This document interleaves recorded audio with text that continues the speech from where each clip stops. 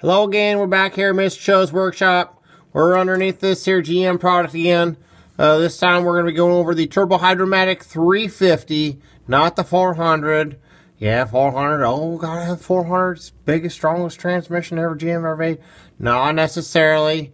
The Turbo 350 is well capable of handling 800 horsepower, no problem. You just gotta put the right stuff into it. You don't just go out and get like, you can't just put junk in it and you just go, I'm gonna go and spend $100 on my rebuild kit. And it's like going if you're gonna go to like the the the restaurant and you're gonna go get yourself like a, a red robin burger or are you gonna spend the the money and get a good quality product or are you gonna go down yourself McDonald's and get yourself a 99 cent cheeseburger?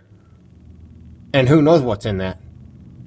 So that's what you get you get what you pay for so yes you put cheap stuff in your transmission it ain't gonna work it'll work and then go bang and then you're it gets expensive real quick all over it again. So you spend the money, you put the good stuff in first. Okay? If you can't spend a lot of money, then you spend what you can. But don't always go cheap. Cheap is bad. So we talked about that before. You don't go junk. We stay away from junk. Okay. So anyway, so Turbo 350 worked just fine as a Turbo 400. Turbo 400's got like one extra clutch in the in the, the low reverse and it's got like one extra intermediate. So it has one more friction disc in there one more steel plate one more thing to rotate. Mm-hmm. That's right.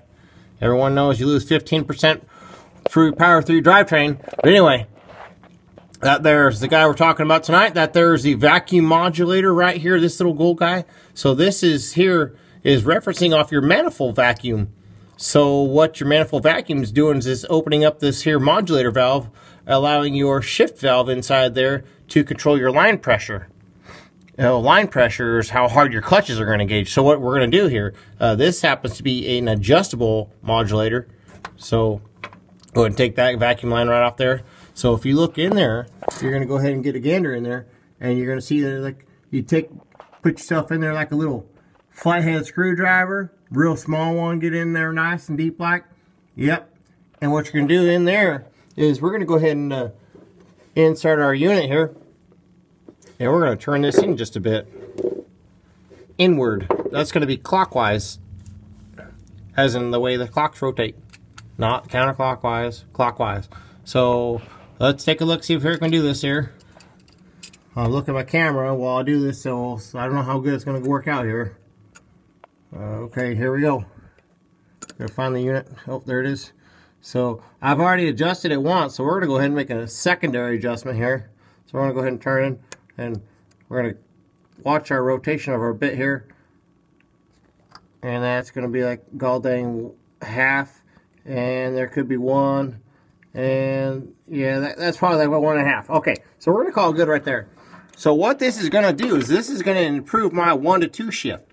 So when I take off and roll into the throttle, and hopefully don't break the tires too free, and then when I put it into seconds, you're like chirp them tires, you know, put a nice firm engagement, just bam, slam them babies right in there. You don't want a soft engagement or like a slide into your transmission because what happens over time is as it ease into it, it's nice and soft. Oh, it's comfortable shift. It's boom, shifts in. Well, guess what happens? It's like slipping a clutch on a manual transmission. And you know what happens when you do that? A lot.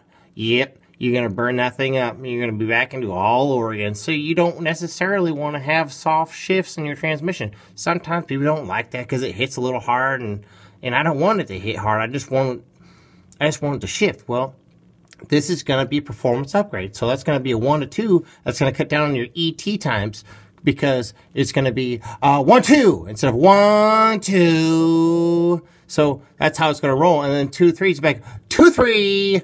So anyway, we're going to go ahead and hook this vacuum line back up on here again. Back up on there. Don't ever forget that.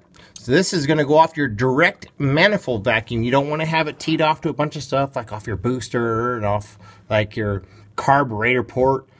It's got to go to direct manifold vacuum, and that's how it operates. If it doesn't have good vacuum, it's not going to be good.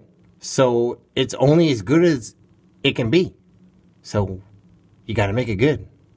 Anyway, that's their quick uh, rundown of the vacuum modulator adjustment on the GM Turbo 350. Uh, this is a two-wheel drive setup we're working on. Um, but yeah, I'll just uh, keep sending you stuff as I go. Thank you.